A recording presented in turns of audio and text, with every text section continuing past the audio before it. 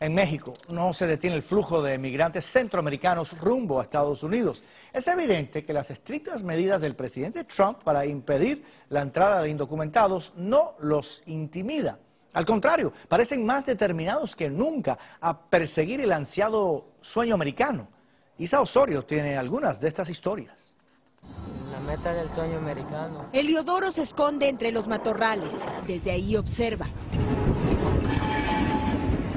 Llegó el tren de la muerte, también conocido como La Bestia, a la estación de Arriaga, Chiapas, al sur de México.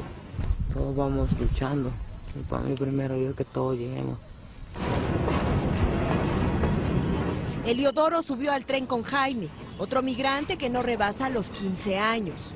Juntos intentarán cruzar territorio mexicano arriba de la bestia, como lo han hecho miles de centroamericanos por décadas, con el objetivo de llegar a Estados Unidos. Aquí van escondidos siempre, tratando de cruzar México.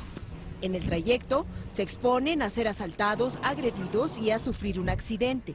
Pero como asegura el padre Alejandro Solalinde, ni esos riesgos ni los planes del presidente Donald Trump de construir un muro en toda la frontera con Estados Unidos detendrá a los centroamericanos de buscar el sueño americano. Ni Trump ni nadie va a evitar que ellos sigan pasando.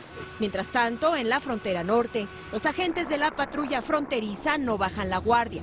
El gobierno de Estados Unidos aseguró que el muro estará terminado en dos años y que incrementará a 5 mil los elementos fronterizos. Pero los planes del nuevo gobierno tampoco intimidan a los migrantes que aguardan en los albergues. No hay por qué temerle, temerle solo a Dios.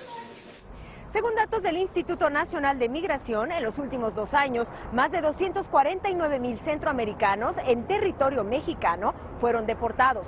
Los migrantes en tránsito esperan que esa cifra tampoco se incremente. En la Ciudad de México, Isa Osorio, Noticias Telemundo.